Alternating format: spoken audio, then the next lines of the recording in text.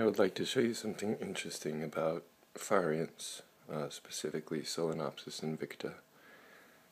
Uh, I knocked these guys out with CO2 gas and then added them all together. Um, okay, here we go.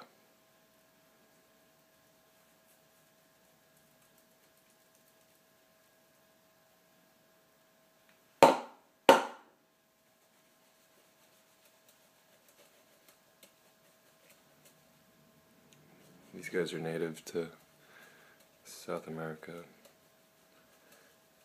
Amazon. They've formed this, uh, evolved this hydrophobic rafting behavior, which allows them to survive in the floods that frequent the Amazon.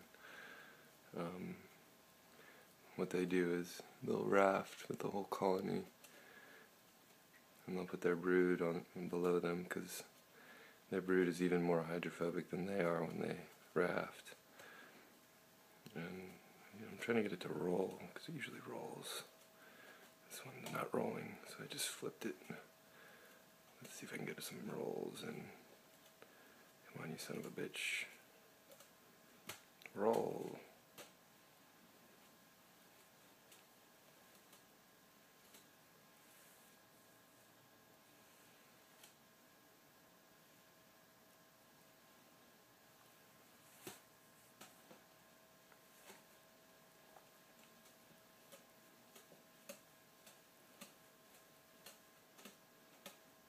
Starts to form a cylinder of ants as as it begins to actually roll.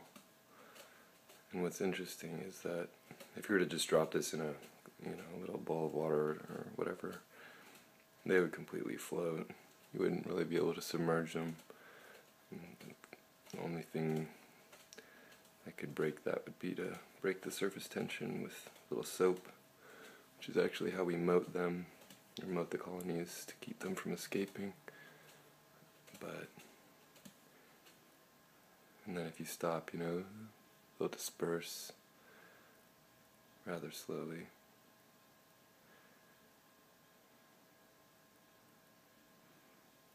And in a few minutes, this ball will be completely dispersed and sort of appear as it did when I first started the video.